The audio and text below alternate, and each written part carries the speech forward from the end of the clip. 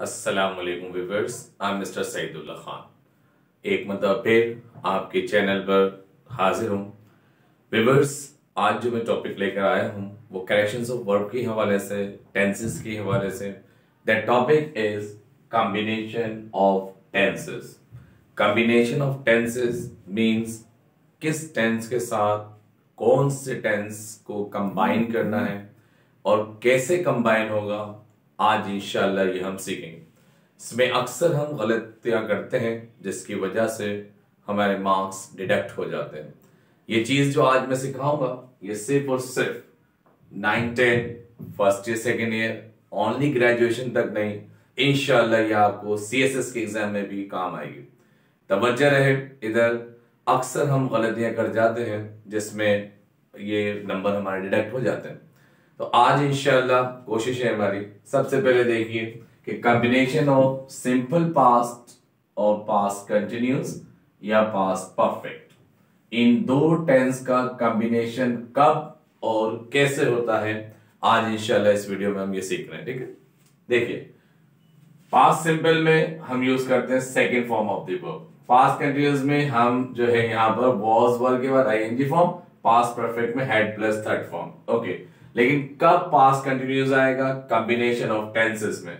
Combination of tenses number one जैसे suppose simple past पहले आएगा और पास कंटिन्यूस बाद में कब? व्हेन वी हैव वाइल जब हमारे पास बीच में वाइल होगा।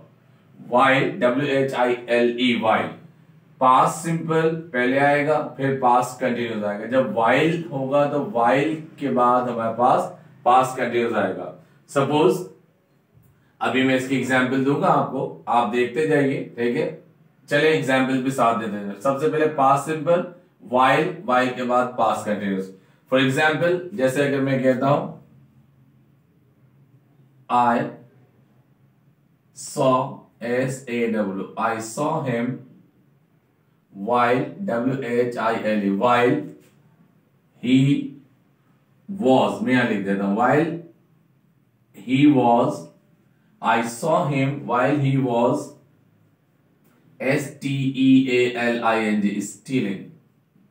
While he was stealing books. जब वो किताबें चुरा रहा था तो मैंने उसे देख लिया। अब देखिए I saw him while he was stealing books stealing books अब इसमें कॉम्बिनेशन देखिए बिल्कुल क्लियर कॉम्बिनेशन आपके पास।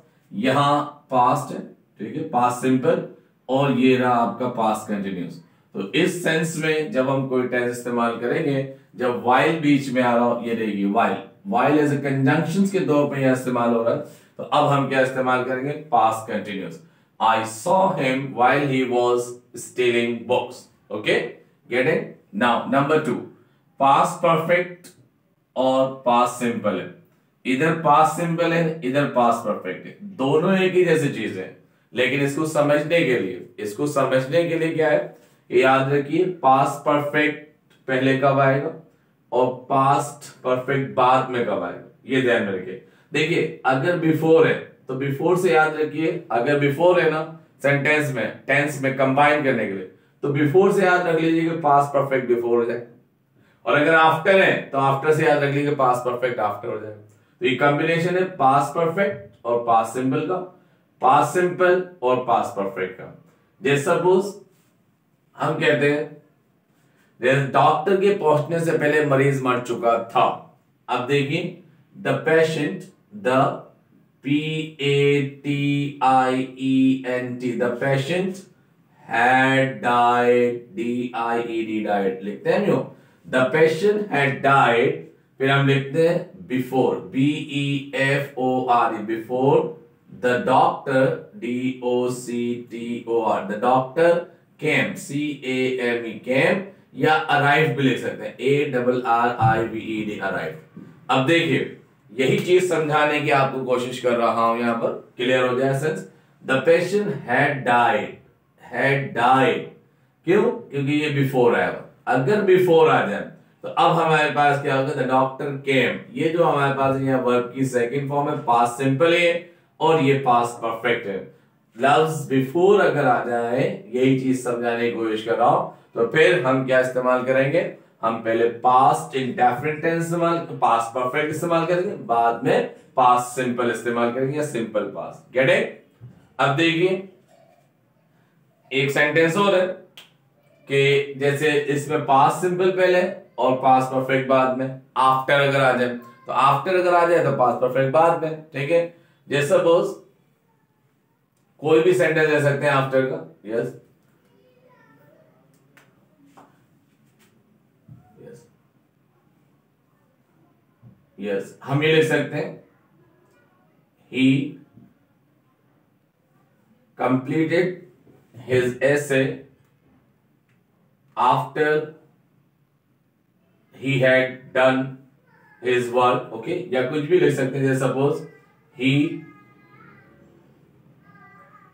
he saw him देखिए he saw him a f t e r after उसने उसे देखा after he had finished f i n i s h e d finished his lunch L U N C H lunch अब देखिए he saw him after he had finished his lunch या I saw him कर लीजिए I कर लीजिए देखिए I saw him after he had finished the lunch. मैंने उसे देखा after, यानी उसके लंच कर लेने के बाद। अब मैंने उसे लंच कर लेने के बाद, ठीक है? इसमें भी इस्तेमाल कर सकते हैं आफ्टर तो आफ्टर जब आएगा तो करने के बाद, पहुँचने के बाद, देखिए, मेरे पहुँचने के बाद, मेरे पहुँचने के बाद वो एक उन्होंने ये काम किया। तो इसमें पास परफेक्ट और इसमें पास सिंपल। तो यू देख लीजिए इसकी कॉम्बिनेशन याद आ रही? अच्छा एक कॉम्बिनेशन और होती है, जो यहाँ पर मैं आपको बता रहा हूँ। जैसे सपोज़ जिसमें हमारे पास एक क्लोज ही होता है, ठीक है? और एक क्लोज इधर आता है, ठीक? दो क्लोज होते हैं।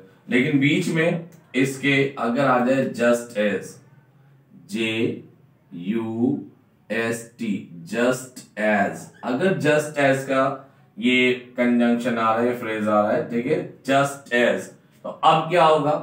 अब यहाँ पे भी हमारे पास S I M P L E simple past इस्तेमाल होगा बेटा। सिंपल पास्ट और यहाँ पे भी S I M P L E simple P A S T past दोनों तरफ़ अब सिंपल पास इस्तेमाल होगा। अब यहाँ पर हमारे पास, यानी पास्ट इंडेफिनेट ही दोनों तरफ़ इस्तेमाल होगा। इसकी एग्ज़ाम्पल दे देता हूँ मैं आपको। ये रिमूव कर दे, ठीक है? ताकि इसकी एग्ज़ाम्पल दे दो आपको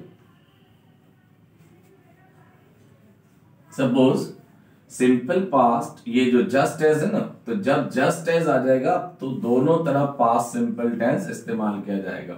आफ्टर की और भी बहुत सी एग्जांपल्स हैं, आपको अभी मैं दे देता हूँ, ठीक है? लेकिन पहले इस पे फोकस कर लीजिए सिंपल अब देखिए जस्ट एज अगर आ गया। तो अब दोनों तरफ़ पास सिंपल पास्ट है। सपोज़ जैसे मैं लिखता हूँ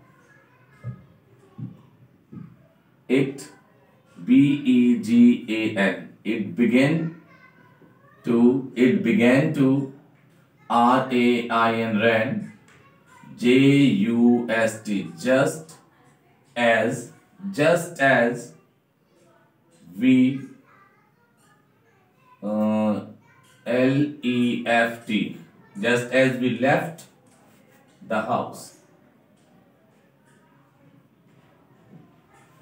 जैसे हम घर से बाहर निकले, यानी हमने घर को छोड़ा लेफ़्ट द हाउस सो क्या हो गया? इट बिगेन टू रेन बारिश शुरू अब देखिए it began to rain just as we left just as we left the house जैसे हम इसको सेट आउट भी कर सकते हैं just as we set out you भी कर सकते हैं। तो जस्ट एज का इस्तेमाल होगा, जब हमारे पास दोनों तरफ़ पास सिंपल इस्तेमाल होगा, ये देख लीजिए, ये भी पास सिंपल है वर्ब की सेकंड फॉर्म है ये भी पास सिंपल है। आज के लेक्चर में जो हमने सीखा, वो ये कि कॉम्बिनेशन ऑफ़ टेंसेस ठीक है? कॉम्बिनेशन ऑफ़ टेंसेस में आज हमने चार कॉम्बिनेशन सीखे।